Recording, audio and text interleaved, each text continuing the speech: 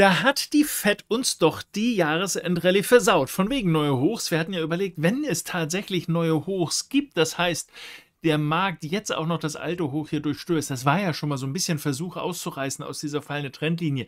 Wir sind, falls ihr es nicht genau sehen könnt, bei ES, das ist das Kürzel für den S&P Future, also für das äh, Instrument, was die Institutionals normalerweise im Blick haben. Aber man kann auch äh, das als CFD oder wie auch immer sich anschauen. Trotz alledem, die Abwärtsbewegung, sie hatte hier ihren kleinen Ausbruch nach oben wenn der Markt korrektiv runtergekommen wäre, wären das so tolle Zeichen gewesen. Und wenn er dann auch noch hier weiter nach oben läuft, ja, dann erst recht, dann werden immer mehr die großen Player in den Markt rücken müssen. So, aber was erzähle ich?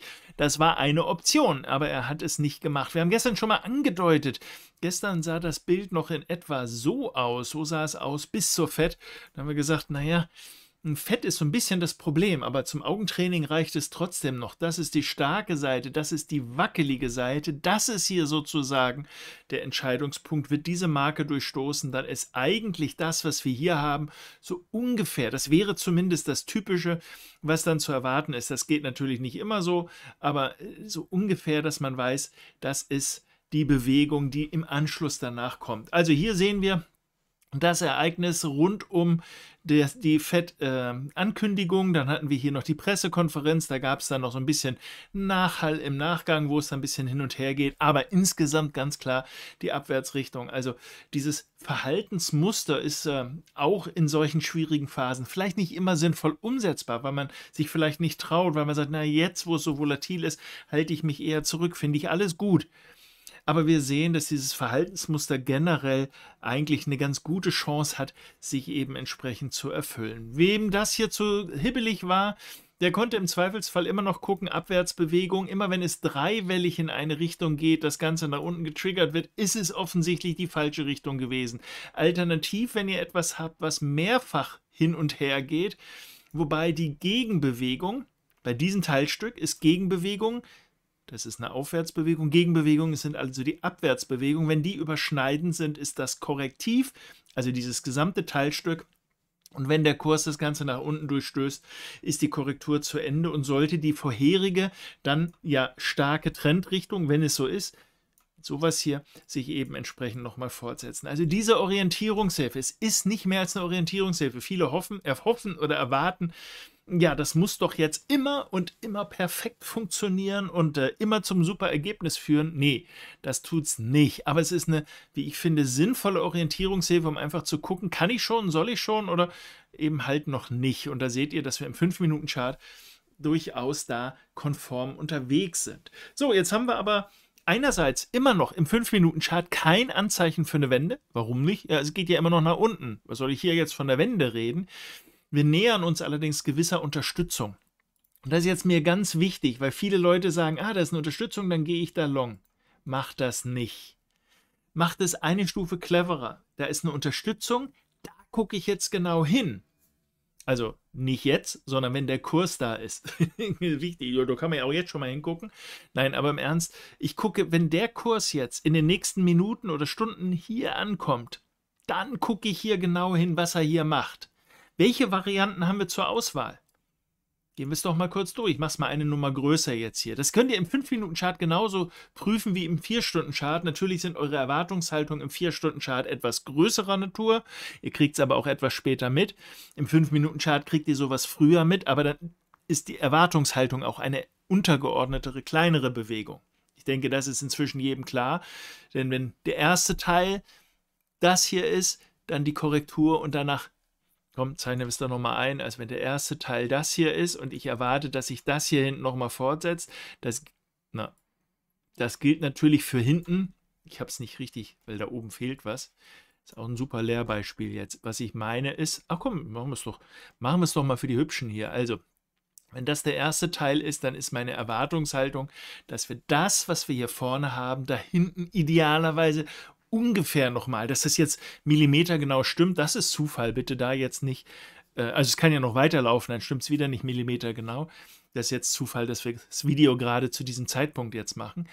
Ähm, aber das ist so eine Orientierungshilfe, wenn ihr eine starke Bewegungsrichtung habt, etwas klassischerweise dreiwellig oder eben mehrfach hin und her laufend mit Kursüberschneidung, dann sind das korrektive Bewegungen. Das ist eben ein Zeichen, dass wenn es zum Beispiel getriggert wird. Es gibt noch andere Methoden. Ich finde den Trigger aber die einfachste Variante, die offensichtlichste, ohne dass ich irgendwelche Hilfsmittel groß brauche.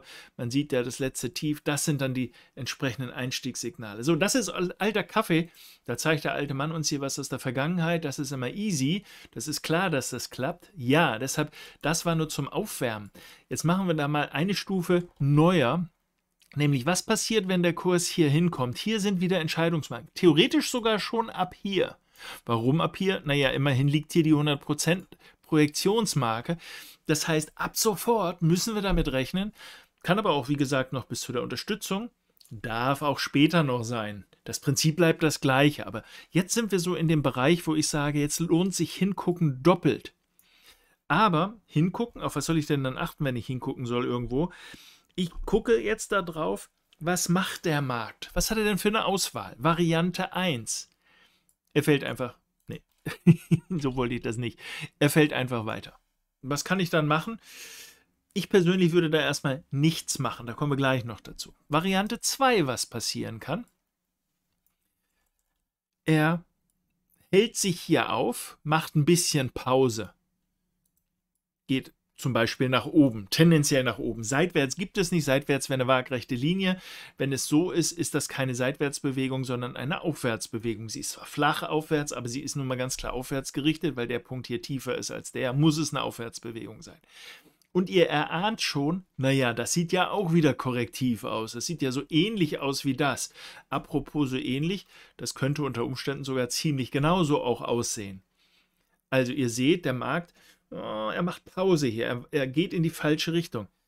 Was war das? Korrektiv, impulsiv? Ah, es war korrektiv, wegen der Überschneidung. Ich zeige euch eine andere Variante. Es könnte auch sein, dass es irgendwie so aussieht. In all den Fällen, die ich euch jetzt hier als diese Variante gezeigt habe, ist das Zwischentief ein möglicher Trigger für die nächste Abwärtsbewegung. Das heißt, dass wir nicht nur dadurch gehen, sondern wahrscheinlich auch dadurch gehen und vorläufig die Abwärtsrichtung nochmal halten. Tipp für die Profis, fünfte Welle. Naja, geht vielleicht nicht mehr ewig tief, aber wäre noch denkbar, dass das so die fünfte Welle hier eben nach unten kommt. Also jetzt haben wir zwei Varianten. Variante 1 war, fällt einfach durch, dazu müssen wir gleich noch was überlegen. Variante 2, ab sofort, also entweder an dieser Unterstützung hier, das ist ungefähr beim S&P 500, ich meine, die Tiefs werdet ihr selber finden im Chart, ist ja nicht doof, 3915, kann auch jetzt sofort jetzt schon sein. Also es kann sein, dass das, was ich hier gezeichnet habe, quasi jetzt beginnt. Wäre auch denkbar. Aber achtet einfach die nächsten Minuten oder Stunden, je nachdem, auf welcher Zeitebene ihr sein wollt, ob so etwas kommt oder wenn das nicht so aussieht, ob so etwas kommt in der Art. Ja, das muss nicht genauso sein, wie ich das jetzt gezeichnet habe, aber eben korrektiv. Dann habt ihr den Trigger, die Möglichkeit, euch triggern zu lassen, wenn er das letzte Zwischentief, das hier zum Beispiel oder das hier, durchstößt für noch ein bisschen eine Fortsetzung. Ja, aber wer sagt mir denn, dass das genau so passiert? Ja, das weiß ich auch nicht. Es gibt noch eine dritte Variante, die auch nicht untypisch ist, dass er so abprallt. Ja, und dann? Dann haben wir die letzte starke Bewegung nach oben. Und dann suche ich bei der nächsten Korrektur nach unten, zum Beispiel könnte die so aussehen, Einstiegsniveau nach oben, weil das war ja die letzte starke Bewegung. Ich erwarte, dass das eben in diese Richtung geht. So, warum erzähle ich euch das Ganze? Ich habe euch jetzt drei Varianten aufgezeigt und ich kann euch im Vorhinein nicht sagen, welche passiert. Nee, aber Punkt 1 ist, die Wahrscheinlichkeit, dass das irgendwo hier passiert, alleine wegen der vorherigen Unterstützung und auch wegen der 1 zu 1 Relation, was durchaus für viele, oh, jetzt haben wir doch das gesehen, was wir wollten, dann gucken wir mal langsam. Wir sind jetzt im Bereich, wo das relativ realistisch ansteht, dass das passiert. Also jetzt drauf zu gucken, mit diesen Augen, also mit diesen Gedanken im Hinterkopf, ist durchaus sinnvoll. Und jetzt ist unsere Aufgabe lediglich zu erkennen, ob der Kurs so eine Bewegung macht, ob er so eine Bewegung macht oder über so eine. Traut ihr euch zu, diese voneinander zu unterscheiden? Wenn ihr es im 4-Stunden-Chart nicht seht, geht vielleicht auf einen Stundenchart, auf einen 15-Minuten-Chart. Eben ein bisschen untergeordnet, dass ihr die interne Bewegungsstruktur erkennt. Deshalb habe ich immer gerne vier Bilder. Ich weiß, für viele ist das auf kleinen Geräten nicht so praktisch. Aber hier sehe ich zum Beispiel interne Struktur gar nicht. Hier aber schon. Also diese Abwärtsbewegung, die ihr hier seht, im 4-Stunden-Chart, die sehe ich hier und dann sehe ich, aber hier gab es auch Gegenbewegungen, Rüdiger. Ja, aber die waren nicht überschneidend. Cool. Nicht überschneidend heißt starke Bewegungsrichtung. Ja, also ich habe so ein bisschen den Verdacht von diesem Punkt. Die erste Pause war hier zur Pressekonferenz in 1, 2, 3, 4, 5. Jetzt kriegen wir eher nochmal so eine in dieser Größenordnung und nochmal ein bisschen runter. Vielleicht sogar bis zu dieser Unterstützung, die ich euch eben hier genannt habe. Die Zwischentiefs hier am 7. Dezember in etwa und sind witzigerweise die gleichen vom 17. November und sind ungefähr auf der Höhe von Zwischenhoch 31. Oktober oder was das hier war, so Ende Oktober. Also hier haben wir mehrere Unterstützungen und Widerstände und meine Einladung an euch, nicht jetzt einfach zu sagen, ich weiß es besser, da macht der Markt bestimmt das. Versucht nicht zu sagen, was der Markt macht. Lasst den Markt das entscheiden und lauft dann mit, wenn er es tut. Und nicht so von wegen, oh, ich drehe den schon mal, den Markt. Das ist, äh, ich weiß nicht, wie eure Erfahrung ist, aber aus meiner Erfahrung, an eigener Erfahrung, aber auch an Erfahrung bei anderen, wenn ich das äh, mitbeobachte, meistens nicht, dass das klappt. Aber na gut, das sollt ihr selber rausfinden. Aber mein Tipp ist, ähm, dies ist ja nicht schlecht, die Idee, aber lasst den an, die anderen Marktteilnehmer das oder das oder notfalls, wenn er halt keinen Bock hat zu drehen, das hier ausprobieren und dann springt ihr auf auf der Short-Seite, wenn er das macht und wenn er dann doch das hier macht, das musste ich noch erklären, wird er früher oder später trotzdem das machen. Und dann habt ihr hier wieder dann die Einstiegsmöglichkeit für Short. Es ist nur einfach verschoben nach unten etwas. Nur wenn er steil nach oben geht, nutzt das Ding, um dann auf die Long-Seite zumindest mal zeitweise aufzusteigen. Und das könnt ihr tun im 5-Minuten-Chart, wenn ihr denn möchtet. Könnt ihr im 4-Stunden-Chart tun, wenn ihr denn möchtet. Und könnt ihr natürlich auch auf Tagesebene machen. Beim SP fällt mir das schwer, weil die gesamte Aufwärtsbewegung doof ist. Das habe ich aber in den letzten Tagen vielfach schon erklärt. Beim DAX allerdings kann ich mir das sogar im Wochenchart vorstellen oder auch beim Dow Jones hier im Wochenchart oder auf Tagesbasis, wenn er jetzt tatsächlich das macht. Springen wir kurz zu diesen Indizes auch noch rüber. Wir hatten es angekündigt. Hab, häufiger kann man es eigentlich nicht erwähnen, dass das durchaus ansteht. Das konnte ich euch gestern nicht versprechen, dass er das jetzt macht. Ich weiß ja nicht, wie die Leute auf die FED-Information reagieren. Aber dass die Bewegung ansteht, haben wir jetzt nun mehrere Wochen lang besprochen, dass das jetzt so, äh, oder mehrere Tage lang in dieser Woche oder letzte Woche besprochen, dass das ansteht und dass man damit eben rechnen muss eigentlich perfekt, dass er jetzt lädt. Viel mehr kann ich nämlich dazu eigentlich gar nicht sagen. Dann lasse ich ihn hier im Hintergrund mal laden. Ich lade euch jetzt gleich das Video hoch. Das heißt, ihr überlegt euch, ob ihr an diesen Enden, ihr seht hier, immer noch starke Abwärtsrichtung. Denkt immer dran, wackelig nach oben würde euch nochmal einladen, für weitere Shorts nochmal das Ganze aufzugreifen. Im großen Bild kann ich mir das sehr gut vorstellen. Das habe ich euch aber in den letzten Tagen so häufig gezeigt, dass ihr wahrscheinlich das schon aus den Ohren raus äh, dass es euch aus den Ohren rauskommt, ihr das schon blind äh, nachzeichnen könnt, aber ihr versteht ungefähr, worauf das hinausläuft. Und im Kleinen die Chance auf einen Long-Einstieg, wenn eben der Schub nach oben kommt und dann der wackelige nach unten, dann, ähm, ja, es ist immer das Gleiche letztlich. Also, wirklich überraschend ist es nicht in der, in der Gesamtausprägung. Wer jetzt sagt, aber ich habe damit nicht gerechnet, dass es runtergeht, naja, damit musste man rechnen. War man darauf vorbereitet? Also im Sinne von, ich war schon short, nicht notwendigerweise. Also der Short-Trigger ist hier der gleiche, den wir hier hatten, Schub runter. Jetzt sieht man das blöderweise wegen diesem Laden hier nicht. Ja, super geschickt jetzt, das ausgerechnet jetzt hier gerade meint, hier nochmal nachzuladen. Hier, aber ihr seht, hier haben wir Schub runter, wackelig hier nach oben.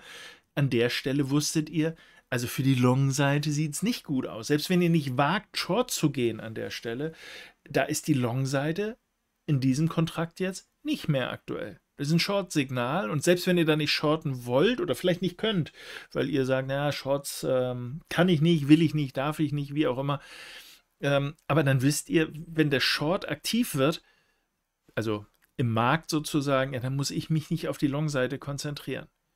Also das Prinzip ist da quasi immer das gleiche. So, jetzt hoffe ich, dass euch das ein bisschen hilft. Das muss nicht immer dazu führen, dass ihr den perfekten Trade macht, aber es sollte mindestens dazu führen, dass ihr ein bisschen besser filtern könnt, was die vorrangige äh, Bewegungsrichtung ist, dass ihr vielleicht bevorzugt diese Bewegungsrichtung handelt vielleicht sogar diese Einstiegstrigger, die ich jetzt ja mehrmals erklärt habe, äh, wie man die machen kann, dass ihr die nutzt an der einen oder anderen Stelle und in dem Zeitrahmen, der für euch dann vielleicht auch sinnvoll ist. In diesem Sinne, euch jetzt erstmal alles Gute und ganz liebe Grüße.